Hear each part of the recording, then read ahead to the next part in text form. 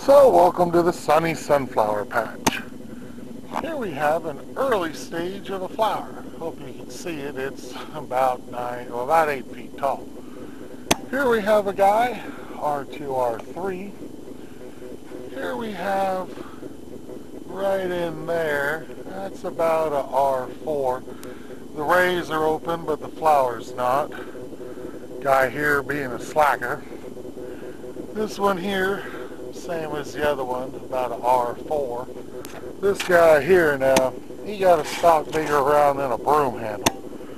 And he's probably 10 feet, 9 feet. And we're probably at R2 as we were in the earlier video. I am sorry I did have the different stages uh, not exactly correct. So here we have another one. And this guy here.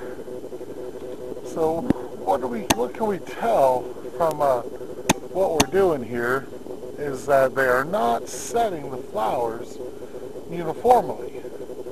They're all growing about the same size, but they don't seem to be uh, at the same flower stage or flower bud growth development stage as our uh, USA Sunflower Sunflower Production Guide says.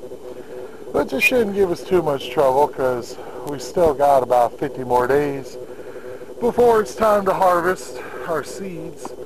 So we're going to keep at it. We did add in our last support rope, and that's like I say, maybe seven, good seven feet tall or so there.